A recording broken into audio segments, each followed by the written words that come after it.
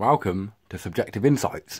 Today I'm going to have a bit of a, a just just e kind of self-righteous, well not self-righteous, but a kind of more moralistic kind of video, but moralistic in the sense of how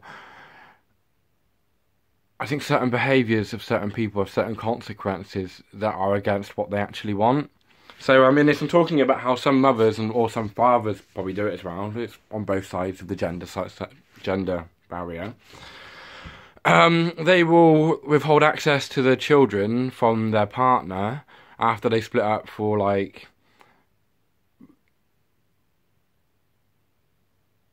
for reasons that aren't their partner being dangerous to their children, but their partner not being in control of themselves, like say having a cannabis addiction or something like that. Um, and then they, they, they, they deny their child access to their parent because of that. Um, they also use the school system to back themselves in this attempt.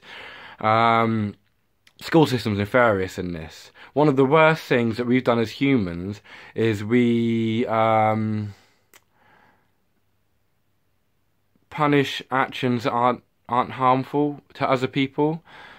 And um, what what they're teaching the child here is that in order for you to be part of your family, in order for you to be a worthwhile human being, in order for you to have social interaction, you have to be a good boy.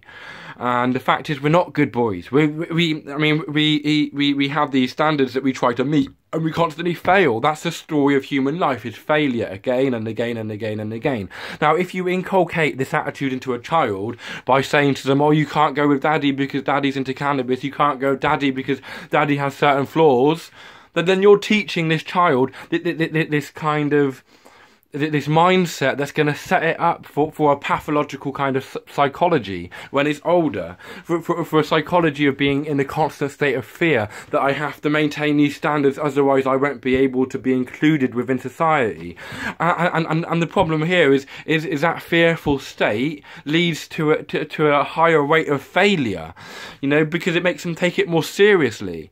Uh, if, you, if you look at people, um, most people are, are, quite successful at video games, right? And that's because when they're playing a video game, they're not taking it seriously. They're, they're just messing around, you know? They, they, they, they feel free to take those failures.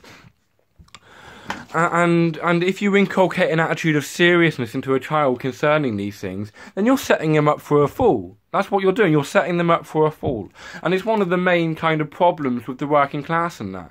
You, you can imagine the, the, the, the, richer people who've got million, millions and millions of pounds. They're like, oh, okay, then kids, you can go off, you can make mistakes, it doesn't matter, you've got a safety net. And so the child goes off, and sure enough, you, you get the really rich and wealthy people producing more and more rich and wealthy people because their children aren't scared of making, making mistakes. Because, because daddy's got a coke habit, he's a millionaire, he can afford to have a coke habit, it's fine and, you can interact interact with him all, uh, and all that kind of stuff. It, it it's it, if if you bring up the child in a more accepting environment that that teaches it that look, we're going to love you no matter what you do. Look at how we treat daddy. He's got all these failings, you know, and we still love him. We still accept him. We still let you see him and interact with him. Yet, yet, daddy fails sometimes. Mummy fails too. Everybody fucking fails. You know, that's that's that's the game of life. And and and, and then out of a hundred failures, you get one success. And, and and and that's just the way it works. It's called the learning process.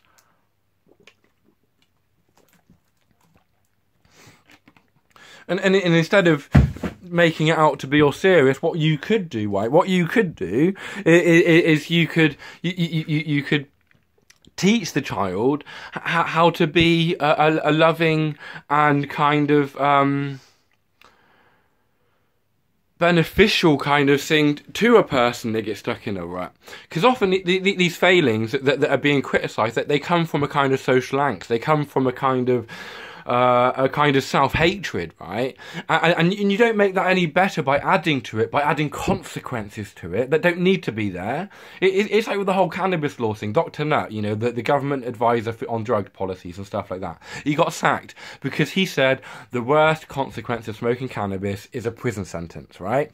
And, and it's, it's like, yeah, sure, that there are these negative consequences to these drugs and these things but you don't make it any better by adding more negative consequences. Come on! It's fucking simple. what you do is you try and create an atmosphere or a space within which they can be a fuck up until they stop wanting to be a fuck up. It's just it all, all these knee-jerk reactions people have, and especially parents towards their kids. It, it's just damaging. It's damaging, plain and simple. Goodbye. Yeah, it would be much better just to say to them, "Yeah, look, Dad, Daddy's doing something stupid. You know, he, he he's shooting himself in the foot."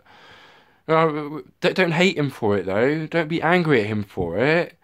Don't don't ostracize him for it. You know. Show him love.